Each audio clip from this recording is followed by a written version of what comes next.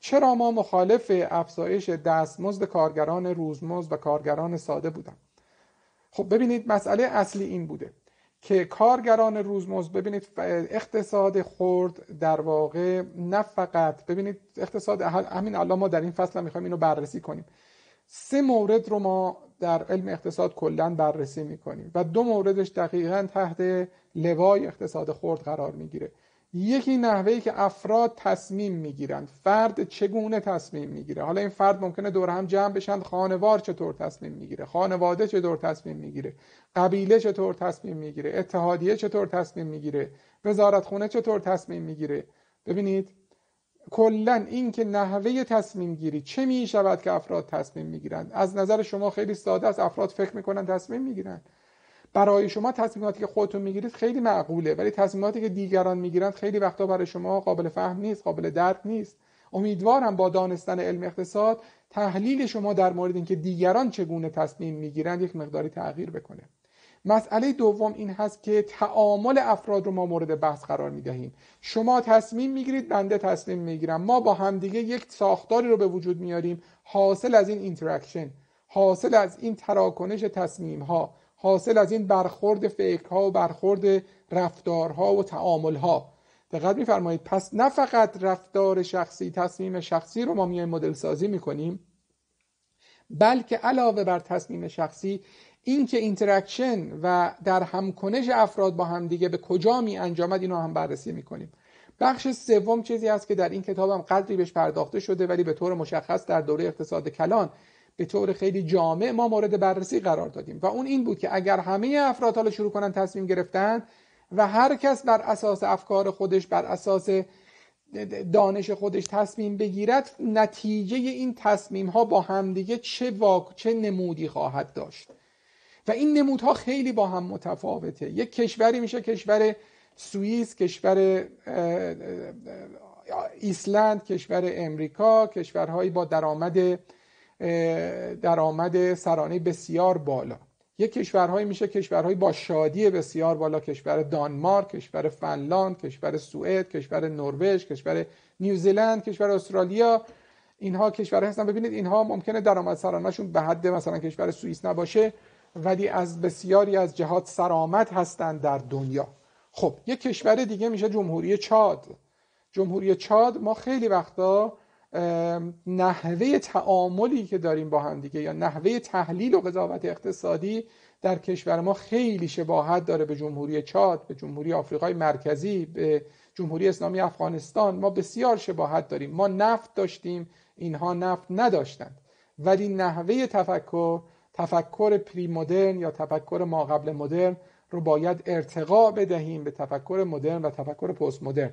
و این راه طولانی ما در پیش داریم. ما می‌خوایم یک تحول فکری که در دنیای پیشرفته یک چیزی شاید حدود 200 سال طول کشیده تا اتفاق افتاده ما می‌خوایم در مدت کوتاهی این رو ارائه بدهیم خدمت شما. خب حالا اینجا مسئله این هست که اگر شما از یک فرد از یک کارگر بپرسید آیا شما راضی هستی که حداقل حقوق 57 درصد افزایش پیدا کنه؟ میگه بله. حالا اگر همین سوال از اون فردی که قراره 57 درصد حقوق رو بده اگر شما بپرسید به نظر شما پاسخ چیست؟ اگر کسی می‌دونه لطفا پاسخ بده اگر من از کارفرما بپرسم آیا شما حاضر هستید 57 درصد حداقل حقوق ضعیفترین اخش کارگران افزایش پیدا کنه؟ به نظر شما پاسخ کارفرما چیست؟ بله. همه تقریبا بدون استثنا نوشتند خیر. یعنی کارفرما مخالف افزایش حقوق حداقل حداقل دستمزد هست و و کارگران موافق افزایش حداقل دستمزد هستند.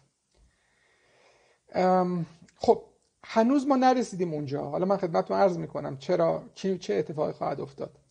ببینید در اون جلسه ای که این افزایش حداقل حقوق مطرح شده در اون جلسه که مطرح شده نمایندگان کارفرمایان و نمایندگان کارگران دور هم نشستند با نظارت وزارت کار رفاه و تعاون. و وزارت کار سکوت کرده و این دو گروه تصمیم گرفتن که 57 درصد حداقل حقوق را افزایش بدهند. اگر شما از نزدیک در یک کارگاه یا کارخونه حضور داشته باشید از نظر وجدان اجتماعی از نظر وجدان وجدان اخلاقی خودتون وقتی که حداقل حقوق 75 درصد افزایش پیدا می‌کنه در عذاب خواهید بود. چرا؟ چون شما به کاری دست می‌زنید که مدت ها ممکن بود به نفعتون باشه و مانع شده باشید و الان با خیال آسوده می‌تونید این عمل رو انجام بدید. اون چیست؟ کارگران ساده کارگران روزمزد کارگرانی هستند که بیش از هر کس دیگری در معرض خطر اخراج قرار دارند. دقت میفرمایید. این کارگران خیلی وقتا در واقع ارزش مازادی که برای بنگاه تولید می‌کنند بالا نیست. دقت میفرمایید. بنابر این کارفرما ممکنه خیلی هم ناراضی نباشه از افزایش 57 درصدی حقوق. چرا؟ برای اینکه کارگر ساده روزمزد که بیش از هر کس دیگری نیاز به منابع منابع درآمدی داره اخراج خواهند کرد و این بهانه در دست کارفرما قرار می‌گیره و وجدان کارفرما هم دیگه دیگه در عذاب نخواهد بود چون میگه که اگر من کارگر رو دارم اخراج می‌کنم اشتباه وزیر محترم رفاه بوده که اسم رفاه در پیش می‌گیره. و و سیاستی رو در پیش می‌گیره که اتفاقا حمایت عمومی رو داره حمایت عمومی رو در بر داره ولی در باطن مشکلات اساسی به وجود میاره. پس بنابراین این افرادی که از فقیرترین اقشار جامعه هستند فقیرتر خواهند شد. این اقشار فقیرتر خواهند شد و چه کسی برنده این قضیه خواهد بود؟ یکی بنگاه هست که در واقع برنده هست. دیگری مهندسان نیروهای زبده نیروهای کارآمد کارگر خبره. دقت فرمودید. اینها همه درآمدشون افزایش پیدا می‌کنه. چرا؟ کارگر ساده که اخراج میشه یا جای جانشین اون کارگر ساده یا ماشینالات قرار می‌گیره. بنابراین این ماشینالات اگر تولید داخل باشه بنگاه دیگری منتفع میشه. اگر تولید خارج باشه وارد کننده منتفع میشه. اگر که جای کارگر خبره جایگزین بشه کارگر خبره برنده خواهد بود برنده این شرایط خواهد بود. مهندسان برنده این شرایط خواهند بود. تنها کسی که میبازد کارگر ساده است. دقت میفرمایید. و تنها کسی که قدرت سیاسی نداره و صداش نمی‌تونه در بیاد همین کارگر ساده است. اینه مشکل ما. دقت میفرمایید. ما می‌خوایم به این مسائل برسیم. در interaction ی که بین کارفرما و کارگر و نیروهای خبره و سایر افراد در در در واقع به وجود می آید بازنده مطلق باز آفرین آقای جعفری درست نمیشن بازنده مطلق دو گروه هستند. کارگران ساده که اخراج می‌شوند بیکاران که کار پیدا نمی کنند دقت میفرمایید. حالا ممکنه که حتی مثلا شرکت کلا اعلام تعطیلی بکند. این هم خیلی احتمالش هست.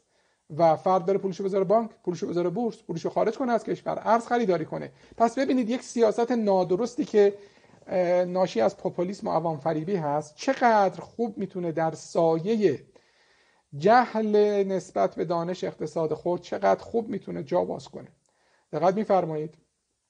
نکته دیگر خدمت شما عرض کنم. اگر که وزیت پزشکان افزایش پیدا نکنند آیا پزشکان مثل کارگران ساده روزمز دست بسته هستند؟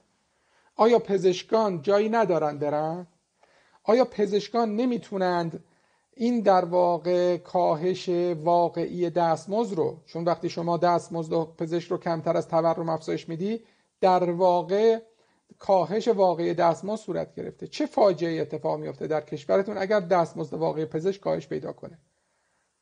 پزشک یا مهاجرت به خارج می‌کنه یا مهاجرت به داخل می‌کنه؟ شما می‌دونید من چند تا پزشک می‌شناسم که به جای پزشکی فعالیت دیگه انجام میدن در تجارت مشغول هستند. الان یکی از مشهورترین تجار ایرانی پزشکه. در من نمی‌خوام نام ببرم. بسیاری از یک سری از افراد بساز بفروش بزرگ پزشک هستند. افرادی که شرکت های متعددی دارن پزشک هستند ولی پزشکی نمی کنند دقت میفرمایید. یا زیرمیزی می‌گیرن به فساد منتهی میشه. یا به خارج مهاجرت می‌کنند. یا وقت کمتری برای بیمار می‌گذارند من تو این چند ماهی که در خدمت شما نبودم خب شاید برخی از عزیزان بدونن من یک بیماری پیدا کردم و چند وقتی هم بیمارستان بودم و می‌دیدم که همین پزشکی که تازه رابطه خوبی هم با ما داشت شاید حتی شاید یک دقیقه به صحبت های بنده توجه نمی‌کرد و گوش نمی‌داد. بنابراین پزشکی در ایران همچنان خیلی گران هست. چرا؟ برای اینکه پزشکی در امریکا برای یک ساعت پزشک من یک بار در به متخصص در امریکا مراجعه کردم. دقیقا یک ساعت به من وقت داد و یک ساعت از من سوال کرد و معاینه کرد. دقت میفرمایید؟ و جالب اینجاست که سه ماه طول کشید تا من نوبتم برسه. یعنی انقدر پزشک اونجا کم بود. چرا کم بود؟ به خاطر اینکه یک ساعت وقت میگذاشت. پزشک در کشور ما پزشک متخصص در بیمارستان های حتی خصوصی چقدر وقت می‌گذارن؟ من برداشتم این است که در کشور ما پزشک در هر ساعت یک چیزی بین 20 تا 30 بیمار رو در واقع ویزیت می‌کنه. یعنی پنج دقیقه هم وقت نمی‌گذاره آقای ساده زاده این چیزی که من دیدم حتی پنج دقیقه هم وقت, وقت داده نمی‌شد به مریض به بیمار. خب پس ببینید اگر بنده به عنوان یک اقتصاددان مخالف افزایش حداقل دستمزد کارگران عزیز روزمزد کارگران ساده هستم و از اون طرف به موافق افزایش حقوق پزشکان هستم. نه به دلیل این است که بنده نئولیبرال هستم. نه به این دلیل است که بنده موافق سقوط ارزش های انسانی و ارزش های اخلاقی در جامعه هستم. بلکه برعکس به دلیل این هست که این دانشی که ما اخذ کردیم این دانشی که شما به دنبالش هستید که در این کلاس بیاموزیم حکم می‌کنه که ما با وجدان بیدار و با شرافت و شجاعت صحبت کنیم. و من از شما انتظار دارم که در این کلاس اگر حضور پیدا می‌کنید به من تعهد بدهید به خودتون تعهد بدهید که شرافتتون رو زیر پا نگذارید. که بسیار راحت یک اقتصاددان می‌تونه شرافت رو زیر پا بگذاره. خیلی راحته که شما در جلسه حضور پیدا می‌کنید. می‌دونید اگر اگر رفتار غلط اگر سیاست غلط رو شما تایید کنید پس فردا وزیر هستید معاون فلانجا هستید معاون رئیس جمهور هستید بالاتر مقام رو خواهید داشت. و اگر بر اساس وجدان و بر اساس دانش و بر اساس تجربه اگر با شجاعت مطلب خودتون رو مطرح کنید گوشه نشین خواهید شد. در عزلت باید بشینید. این واقعیته. و من انتظار دارم از شما که همونطور که علم دانش اقتصاد کلان رو خیلی از شماها به خوبی آموختید و افتخار من بود که در انتهای کلاس می‌دیدم که بسیاری از دوستان چقدر خوب آشنا شدند.